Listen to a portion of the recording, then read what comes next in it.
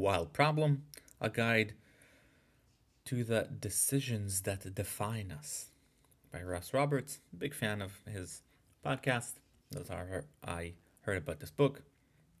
Definitely interesting uh, podcast. The book was a little disappointing, to be honest. I thought it would be a little more interesting.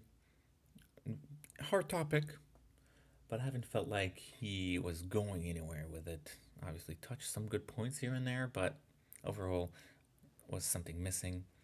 I would say a three, low three. Let's see the notes. A scholar is a list of pros and cons with weights. That's what it is.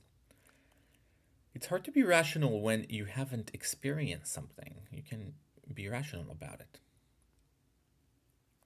Type 1 experience is having fun at the moment, while type 2 experience is more exhilarating, but not necessarily fun at the moment, though it offers future benefits. That's the difference between type 1 to type 2 experiences. Type 1 is in the moment kind of thing. Type 2 is more experienced, but not doesn't have it's not necessarily have fun in the moment. So it's just the differences between those.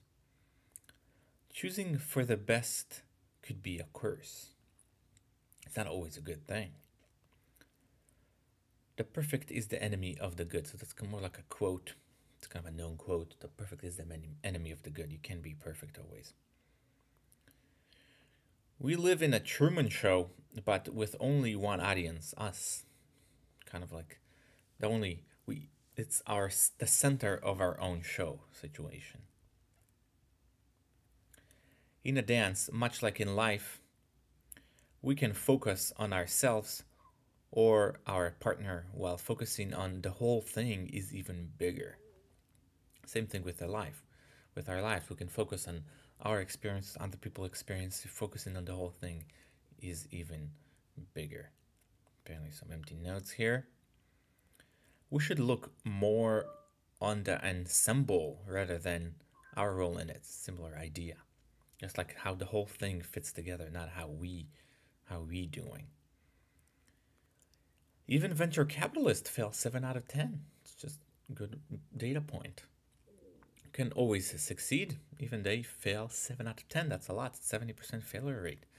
But they only need three to make their money.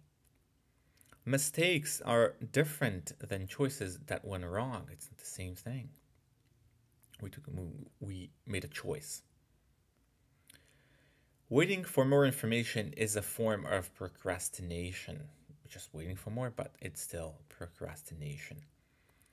In life, knowing when to fold and when to hold is a craft. It's not that easy. It's same thing in poker. It's not that easy, but in life, it's even harder. We should look at ourselves as an art that is constantly revised and improved. You're constantly improving it. What's the last note here? Constantly improving. That's how we should look ourselves on our, on ourselves. That's it for the notes. Interesting read, but not like crazy. Nothing much.